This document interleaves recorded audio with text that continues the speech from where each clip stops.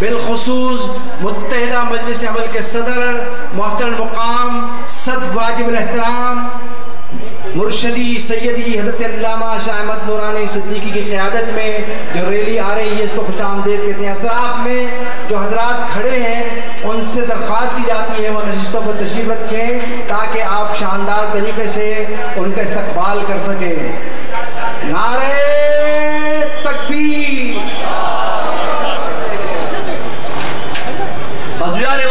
गुफ्तु पर गौर फरमाइए वक्त अपनी इंतहा को पहुँच रहा है। जैसे ही रैली आएगी, उसका हम इस्तेमाल करेंगे। फैसला दस अक्टूबर को ये करना है कि क्या हम किताब के ज़रिए इनकलाब के हामी हैं या नहीं अगर दस अक्टूबर को हम डर गए अपने घरों के अंदर बैठ गए तो फिर छोटे छोटे गिरोह एक बार फिर हमारे सामने चले आएँगे हाजिर मोहतरम मैं ये बात आपके सामने बयान करता चलूँ जब मैंने बाज इलाकों में शिकायतें सुनी कि कुछ लोगों ने आकर लोगों को बरगलाया कि शायद हमने अपने अकीदे पर सौदा कर लिया हमने अपने नज़रिए पर सौदा कर लिया तो मैंने कहा कि शायद तुम ये नहीं जानते कि अकीदा और नज़रिया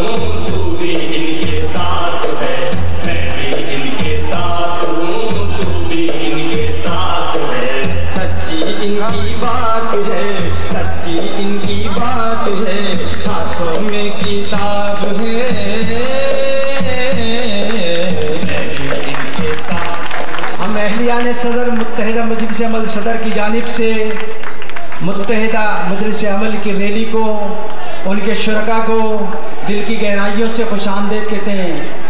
कायद सुन्नत मिल, कायद मिलत इस्लामिया, हज़रत मौलाना शाह अहमद नूरानी सिद्दीकी, सदर मजलिस मुतहदा अमल व सदर जमीयत पाकिस्तान और चेयरमैन मिली यकजहती कौंसल व chairman World Islamic Mission Trust Pakistan को खुश आमदेद कहते हैं। आप हजरात से दरख्वास्त है कि नारों में शानदार इस्तकबाल कीजिए। नारे तकबीर। नारे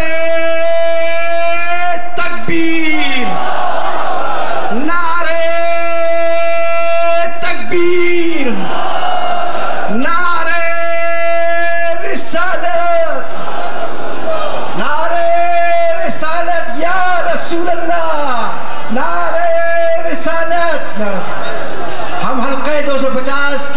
असम्बली के उम्मीदवार?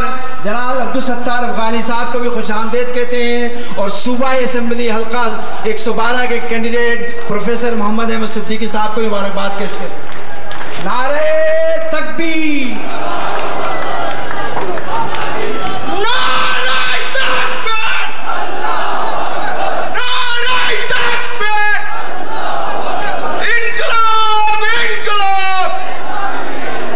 पाकिस्तान का मतलब क्या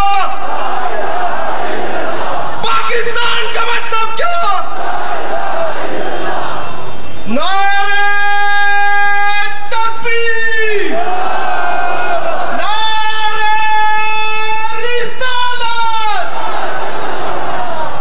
इस्लामी इनकलाब इस्लामी इनकलाब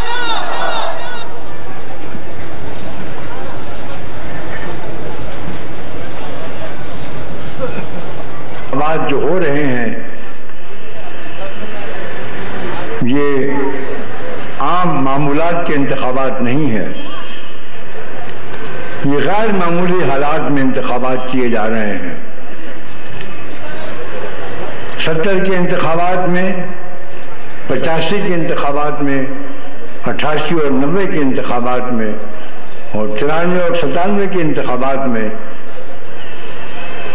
हालात पैदा कर दिए हैं कि जहाँ हर शख्स मुसलमान को शुभ की नज़र से देखते हैं। कहा यह जाता रहा कि सारे मुसलमान दहशतगर्द नहीं है, लेकिन आज तक जो भी पकड़ा गया, वो सब के सब मुसलमान हैं। कोई एक भी गैर मुस्लिम नहीं अमेरिका ने एक ऐसा ट्राइका बनाया है, तीन मुल्कों का इतिहाद जिसमें इसराइल भी शामिल है, अमेरिका भी शामिल है, और भारत भी शामिल है। इस ट्राइके ने मुसलमानों को टारगेट बनाया है। मुसलमान खिताब के लिए तशरीफ़ लाए। मैं मुफ्ती मोहम्मद अब्दुल हलीम हजावी साहब आइम्मा कराम मसाजिद शाह अहमद नूरानी तकबीर! नारे रिसालत सदाकत की निशानी! न बेखौफ कयादत बेबाक कयादत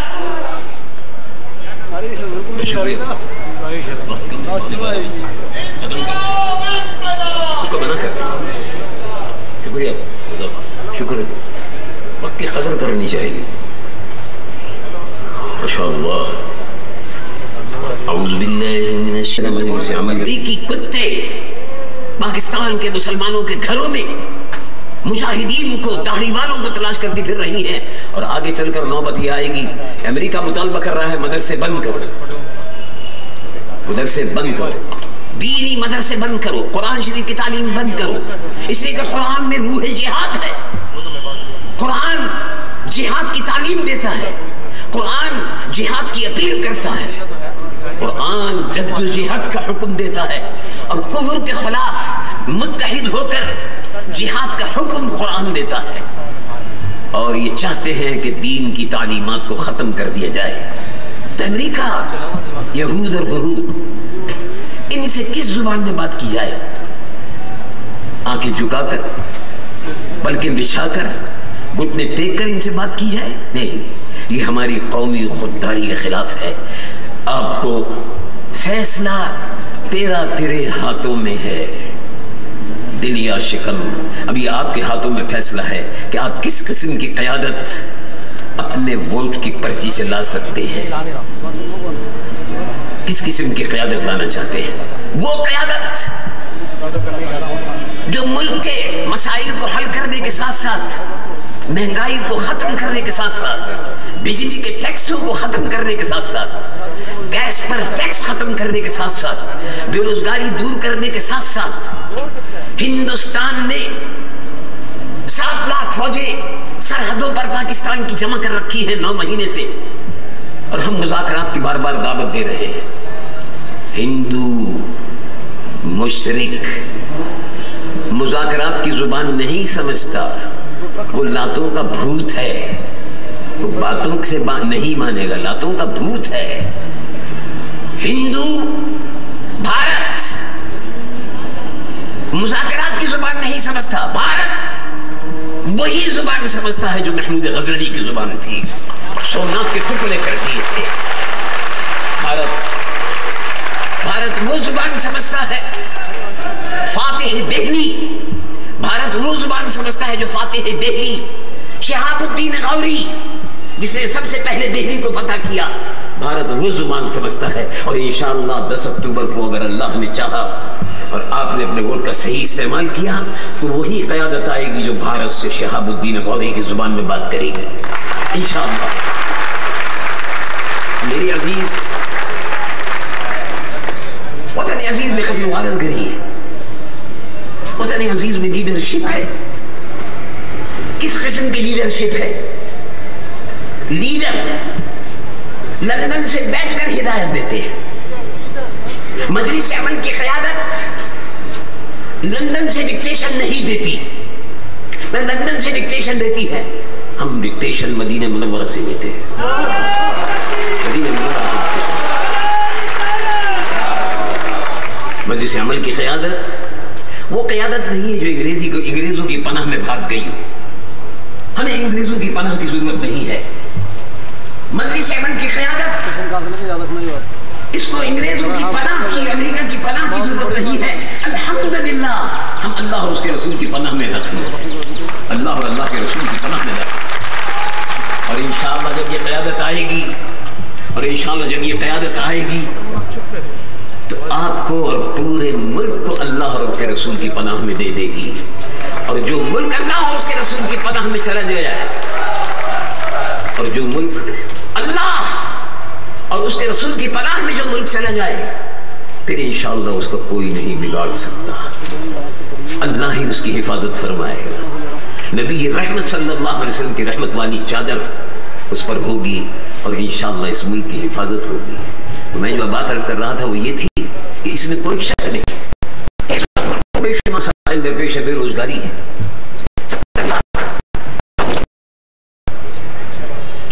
गुर्बत गिरता जा रहा है अस्सी लाख आदमी इतने गरीब हैं, इतने गरीब हैं कि उनको दो वक्त रोटी मैसर नहीं होती।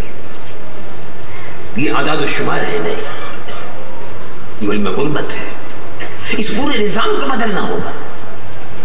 अब तो हम ये देखते हैं कि सारी ही इंतज़ाम सारी ही फजूल खर्चियाँ, ब्यूरोक्रेसी, ऐवान सदर ऐवान वज़ीर आज़म और मुजरा और जुबरा सामान्य ताजुशन के लिए मुहैया किया गया है। ऐश इशरत की ज़िंदगी गुजार रहे हैं। हम पाकिस्तान में वो निज़ाम देखना चाहते हैं। पाकिस्तान में वो तरीक़ा कार देखना चाहते हैं कि जब रोमन एम्पायर का सफीर मदीने मुनवरा में आया तो उसने कहा कि तुम्हारा बादशाह कहाँ है? शहर वालों ने जवाब दिया कि हमारे यहाँ कोई बादशाह नहीं होता। बादशाह नहीं होता। अमीर होना करजुली मिन्ना। हम जैसे ये कमीर है। जैसे हम आदमी है ऐसी वो भी है। खलीफा कहाँ मिलेगा? तुम्हारा सरदार तुम्हारा अमीर जो हाकिम वक्त है वो कहाँ मिलेगा? कहा या घर पे होंगे या मस्जिद में होंगे? लेकिन इस वक्त सुबह का वक्त है। वो यकीनन मस्जिद में होंगे। रात को गश्त करते हैं, सुबह को जाके मस्जिद में सो जाते हैं। मस्जिद में तलाश करो, जो मिल जाए। तो अल्लाह का एक नेक बंदा साथ में हुआ। देखा कि मस्जिद के सहन में ईंटों का तकिया रखे हुए। खलीफतुल मुस्लिमीन सैयदना फारूक आज़म रज़ी अल्लाह लेटे हुए हैं, आराम कर रहे हैं। सफीर ने पूछा, ये कौन है? कहा, यही उमर इब्न खत्ताब है। जिनके हुक्म से दरियाए नील की रवानी बंद हो जाती थी, खुल जाती थी, बंद जो हो चुका था, रवानी हो जाती थी। जिनके हुक्म से मदीने मुनव्वरा की ज़मीन का जलजला रुक जाता था, वो उमर, फातिह ईरान वो उमर फातिह दमिश्क फातिह बैतुल मुक़द्दस और मिस्र। वो उमर, इन्होंने कहाँ तालीम हासिल की थी? अब लोग ये कहते हैं कि मौलवी लोग, मुल्ला लोग, ये क्या हुकूमत चलाएँगे? वो भी ठीक है। ये भी सही है। बाकी हुकूमत चलाने का तो यानी हुकूमत चलाना बड़ा मुश्किल होगा इसलिए कि बेईमानी बेईमानी है चारों तरफ़। तो ये बात भी लोग सही कहते हैं। कि बेईमानी में और इस गंद में कहाँ हुकूमत चलाएँगे? लेकिन मैं एक बात अर्ज़ करता हूँ, ऐसे भी कहते हैं लोग, बाकी मौलवियों के बस का नहीं है हुकूमत चलाना मौलवी क्या करेंगे हुकूमत करके? मौलवियों को इकतदार नहीं चाहिए। मुतहदा मजलिस अमल को इकतदार नहीं चाहिए। हम इस्लाम को इस मुल्क में इकतदार दिलाना चाहते हैं। जो इस्लाम मस्जिद में है, जो इस्लाम जो इस्लाम मस्जिद में है, वही इस्लाम थाने में भी होना चाहिए। वही इस्लाम पार्लियामेंट में, वही अमन इस्लाम। हम इस्लाम को, हम इस्लाम को इख्तदार मिलाना चाहते हैं, तकरीर हुए हम इस्लाम को इख्तदार मिलाना चाहते हैं। अल्लाह के दीन को इस मुल्क में इख्तदार में लाना चाहते हैं, ताकि मुल्क का नक्शा बदल जाए। अब लोग ये कहते हैं कि मौलवियों के बस का नहीं है, छवि ठीक है तो मौलवियों के बस का तो नहीं है अच्छा, चलिए मान लिया। अब पूछना ये है कि पचपन बरस पचपन बरस पाकिस्तान में किन लोगों ने हुकूमत की? जो लोग अमेरिका से पढ़ के आए ऑक्सफोर्ड में पढ़ के आए ऑक्सफोर्ड कैम्ब्रिज में पढ़ के आए। और हमसे ये कहा गया कि सुबह अल्लाह देखिए साहब ये अमेरिका पलट है अमेरिका के पढ़े हुए इनसे बेहतर कोई मुल्क चला ही नहीं सकता। सुबह अल्लाह तो अमेरिका से आए हुए, लंदन से आए हुए, बरतानिया से आए हुए, फ्रांस से पढ़कर आए हुए, ये पचपन बरस तक इन लोगों ने हुकूमत की। तो क्या मुल्क चला लिया? मुल्क चला लिया। चालीस अरब रुपए का, चालीस अरब डॉलर का मुल्क इस वक्त मकरूज है। कत्लो गरब गरी है। अमेरिका की गुलामी है। अमेरिका के आगे दस बस्ता हाथ बांधे हुए खड़े हैं। जमीर भी बेच दिया। और दौलत ईमान जो थी वो भी बेच दी। और ऐसा से जिया जाता रहा। ये हालत हो गई। तो ये पचपन बरस अमेरिका के पढ़े हुए, लंदन के पढ़े हुए, फ्रांस के पढ़े हुए लोगों ने पचपन बरस हुकूमत की थी। मसला हल नहीं हुआ। सत्तर लाख आदमी बेरोजगार हैं। नौजवान डिग्रियाँ लिए हुए फिर रहे हैं। रोज़गार नहीं है। फैक्ट्रियाँ बंद हैं। तो मुल्क कहाँ चला? अमेरिका से पढ़कर आए हुए लोगों ने। और वो जो अमेरिकी एजेंट बैठे हुए हैं इस्लामाबाद के अंदर वजारत खजाना में अमेरिकी एजेंट बैठे हुए हैं इसके वर्ल्ड बैंक के दलाल और वर्ल्ड बैंक के कारिंदे वर्ल्ड बैंक के नौकर। पहले वर्ल्ड बैंक में नौकरी करते थे अभी यहाँ के नौकरी कर रहे हैं तनख्वाह वहाँ भी ले रहे हैं यहाँ भी ले रहे हैं डॉलरों में तनख्वाहें ले रहे हैं। मसला हल नहीं हुआ। तीन बरस में मसला हल नहीं हुआ, पचपन बरस में मसला हल नहीं हुआ तो पचपन बरस तक ये ऑक्सफोर्ड वाले, लंदन वाले, फ्रांस में पढ़कर आने वाले, हार्वर्ड में पढ़कर आने वाले बर्कले अमेरिका में पढ़कर बर्कले यूनिवर्सिटी में पढ़कर आने वाले मसला हल नहीं कर सके तो कम अज कम अब दस अक्टूबर को मौका दो कि जो मदरसा मोहम्मदी में जिन्होंने पढ़ा है, वो मसले को हल करें। मौका दो ये आपके इम्तिहान का वक्त इस मुल्क पर अल्लाह की रहमतें बेशुमार हैं।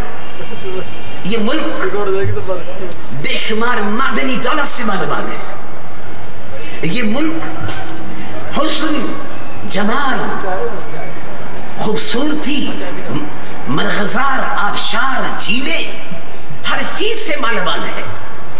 इस मुल्क के हुस्न को नोच लिया है। बड़े बड़े सरमायादार जागीरदार लंदन और अमेरिका के पढ़ने के नाम पर कि हम मुल्क को बेहतर तरीके से चला सकते हैं इनको लूटा है। अब वक्त आया है इनसे छुटकारा पाने का, इन सरमायादारों से, जागीरदारों से। और लंदन और अमेरिका में ऐश इशरत के सामान और अमेरिका में पढ़कर फिर अमेरिकी एजेंटों का किरदार अदा करने वालों से जान छुड़ाने का वक्त आया है। तो फैसला तेरा तेरे हाथों में है। क्या फैसला करना है? बेरोजगारी को दूर करना है। गुर्बत को दूर करना है। मुल्क के हालात को उसके पूरे निज़ाम को बदलना है। बदलना है? तो चेहरे बदलने से कुछ नहीं होगा। पूरे निज़ाम को बदलना होगा। चेहरे भी बदलने होंगे, निज़ाम भी बदलना होगा। और कौन सा निज़ाम लाना होगा? निज़ाम नाफिज हुआ। एक निज़ाम मदीन मुनव्वरा में नाफिज हुआ। सैयदुल आलमीन हुजूर पुरनूर मोहम्मद ने मदीने मुनव्वरा में पहली इस्लामी रियासत कायम की वो निज़ाम कायम हुआ और वो चला तो फिर ऐसा हुआ कि दो दो महीने तक हर साल के इख्तिताम पर डीसी मस्जिद में आकर पाँचों वक्त की नमाजों के बाद ऐलान करते थे कि भाइयों जक़ात बैतुल माल में जमा हो गई जिसको जक़ात लेनी हो वो ले ले। दो महीने तक मुतवातिर रजब और शाबान में दो महीने तक मुतवातिर जक़ात आ गई है। ले लो ले लो ले लो। किसी के जिम्मे अगर कर्ज हो तो वो भी कर्ज उतारने के लिए बैतुल माल से ले ले। ये ऐलान होता रहता था। लेकिन क्या तब्दीली आई? ये निज़ाम जब चला ये निज़ाम मुस्तफ़ा जब कायम हुआ तो क्या तब्दीली आई? दो दो महीने तक मस्जिद में ऐलान होता था। जक़ात देने वाले थे। लेकिन जक़ात लेने वाला कोई नहीं था। हम इस मुल्क में वो निज़ाम लाना चाहते हैं, जिसमें हरमत और इफलास दूर हो। टैक्सों का जबरी निज़ाम, ब्यूरोक्रेसी, अफसरशाही, मजालिम जो इस मुल्क में हो रहे हैं, उन सबको ख़त्म करना है। और ऐसा नक्शा इस मुल्क का बनाना है। कि बाहर से आदमी आए और आने के बाद कहे, कि भाई वाह वाह, ये पाकिस्तान है। ये कैसा पाकिस्तान है? यहाँ कत्ल हारत गरी नहीं होती। ये कैसा पाकिस्तान है कि औरतें शर्मो हया के साथ बाजारों में निकलती हैं, चादर जहरा उनके सरों पर होती है। ये कैसी है? शराफत अब तो टेलीविज़न अरबाब इख्तियार ने हुकूमत ने और यहूदियों और यहूदियों और हिंदुओं के एजेंटों ने जो टेलीविज़न में घुस गए, अब तो मुसलमान बच्चियों को नाचना और गाना, और उनको बेइज्जत करना, उनकी आबरूरेजी करना, एक कंजर खाना बना दिया। है बाजारी औरतों का एक मरकज बन गया। है शराफा की जगह नहीं रही वहाँ। तो वो आने वाला कहे कि सुबहान अल्लाह, कैसे लोग हैं? लड़कियाँ बाजारों से गुजर रही हैं, औरतें बाजारों से गुजर रही हैं, शर्म हया के साथ, चादर लहरा के साथ। और नौजवान भी गुजर रहे हैं, नज़र नीचे किए हुए गुजर जाते हैं। कोई छेड़ने वाला नहीं, कोई पूछने वाला नहीं। ये क्या है जिसमें कत्ल नहीं गारत गरी नहीं, जेब कतरे नहीं कुछ नहीं? अमन है, सुकून है, कत्ल नहीं है गारत गरी नहीं है। खून नहीं बहता, मुसलमान मुसलमान का खून नहीं बहाता। भाई, ये कैसा मुल्क है? जिसमें रिश्वत नहीं, जिसमें सूद नहीं, जिसमें भीख मांगने वाले नहीं, भीख देने वाले हैं। और मांगने वाले नहीं, ये क्या मुल्क है? ये कैसा निज़ाम है? तो उससे कहा जाए, ये निज़ाम मुस्तफ़ा है ये पाकिस्तान है। ये है मुल्क का नक्शा। ये है मुल्क का नक्शा जो मुतहदा मजलिस अमल देना चाहती है। और हम कानून के दायरे में रहते हुए, दस्तूर के तहत जो हकूक़ उम्मत मुस्लिमा को दिए गए हैं उन तमाम हकूक़ के मुताबिक, इस्लामी नज़रियाती कौंसिल की करारदादों के मुताबिक सिफारिशात के मुताबिक, इस मुल्क को पूरे मुकम्मल तौर पर इस्लाम के सांचे में ढालेंगे।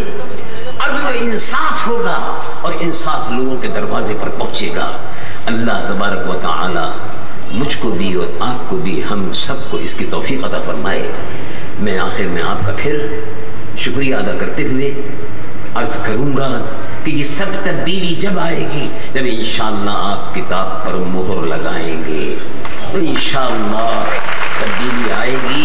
और उसके लिए हम दुआ करते हैं, अल्लाह तबारक व ताला इस मुल्क पर अपनी रहमतें और बरकतें नाजिल फरमाए।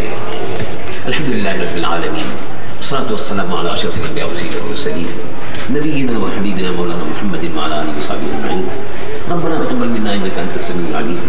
तुब अलैना इन्नका अंतत तव्वाबुर रहीम। रब्बना आतिना फिद दुनिया हसनतन व फिल आखिरति हसनतन व क़िना हे अल्लाह पाकिस्तान को निज़ाम मुस्तफ़ा का गहवारा बना गुरबत और को दूर फरमा मुसलमानों में आपस में मोहब्बत पैदा फरमा कत्ल गारत से महफूज फरमा दहशत गर्दों से निजात अता फरमा भट्टाखोरों से निजात अता फरमा अल्लाह दहशत गर्दों से निजात अता फरमा मुल्क को अमन का गहवारा बना मुल्क को, पाकिस्तान को, आलम इस्लाम को, अमन का गहवारा बना। अमेरिका, बरतानिया और रूस, यहूद और हनूर, इस्लाम और मुसलमानों के दुश्मन है। अल्लाह, इन दुश्मनों पर मुसलमानों को फतह नुसरत अता फरमा। इस्लाम के दुश्मनों को जलील रसवा फरमा। पाकिस्तान की हिफाजत फरमा। आलम अल्हम्दुलिल्लाह रब्बिल आलमीन। वस्सलातु वस्सलामु अला अशरफिल अंबिया व सय्यिदिल मुरसलीन।